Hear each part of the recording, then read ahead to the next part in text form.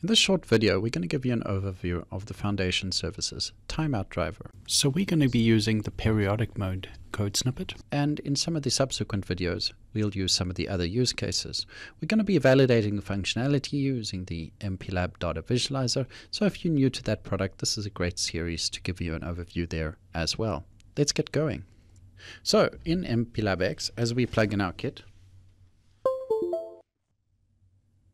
We get a welcome page. In the output window, we can take the MCU part number,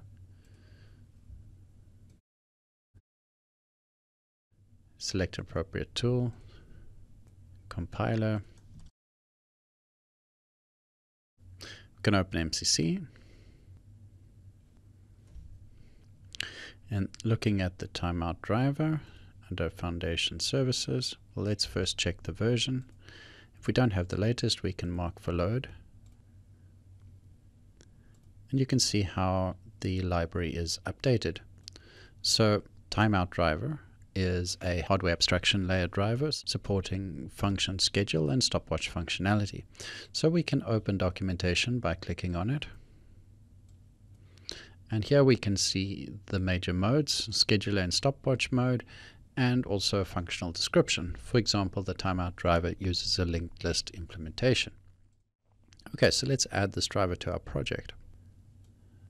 Here we can see that we have a number of different options and the RTC is selected by default and here if we change the driver we can see that the timeout driver information timeout driver uses TCA0 and if we update this to the RTC the notification is updated as well. Now we're going to use a frequency of 1 kilohertz, making the timing simple. And going back to the timeout driver, we can see different use case examples. One-shot mode, for example, creates simple timers that can run once.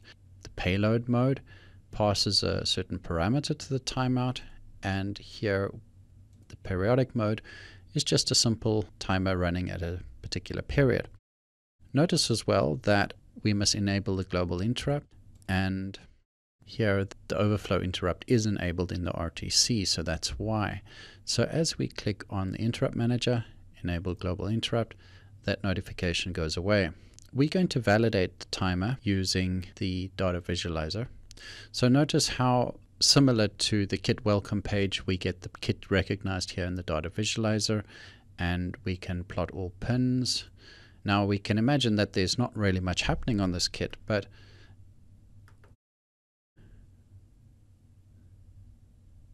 we can see that something happens when we push the button.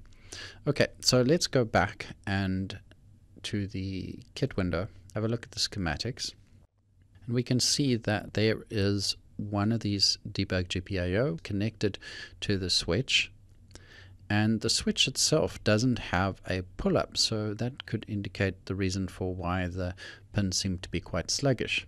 So we're going to add these two.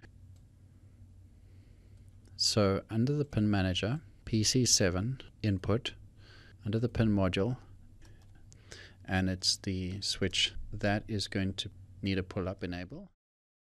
The other one was debug GPIO 1, which was the LED. Okay, so let us now generate code. So in the project under source files, here's our main as expected for an MCC project. And under MCC generated files, we see under examples, there's a timeout example.c.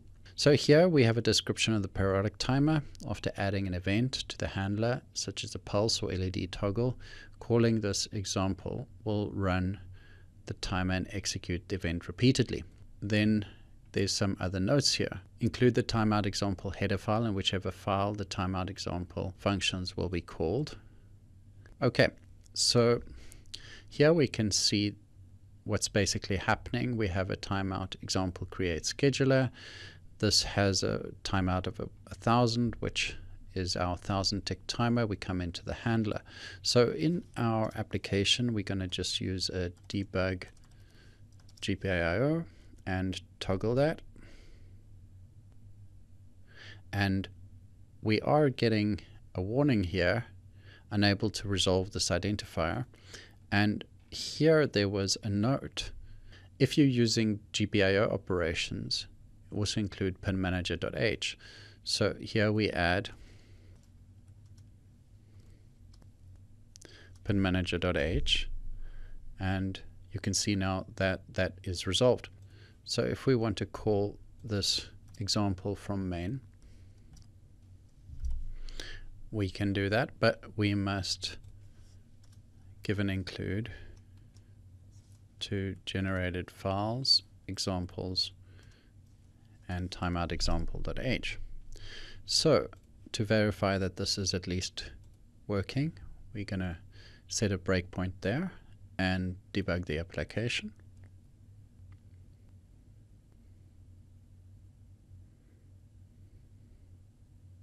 So we hit that breakpoint as expected and hit it again after about a second.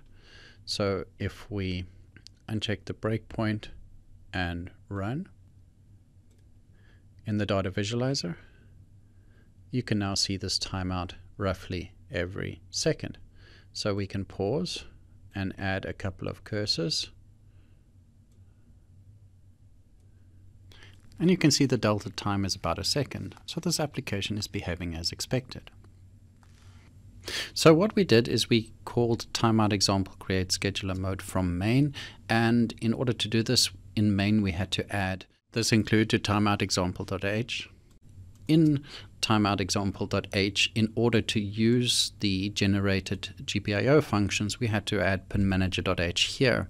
What we can do is we can cut the example from here. I'm going to copy and paste in main to main first to show you why you need to cut. If we build now, you can see that we get build errors because there's a lot of duplicated functions. So this goes away if we just remove those functions. And here we can set the breakpoint as before and we can remove the include to timeoutexample.h.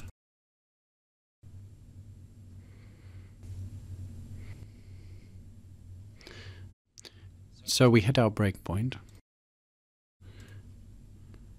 And we still have the functionality that we had before. But what we can do in the data visualizer is refactor the way that this is displayed. So on the top, we just put GPIO 1, and on the bottom, we add GPIO 0. And the functionality of the application is now much clearer. In the next video, we'll look at the code snippet for the one-shot timer.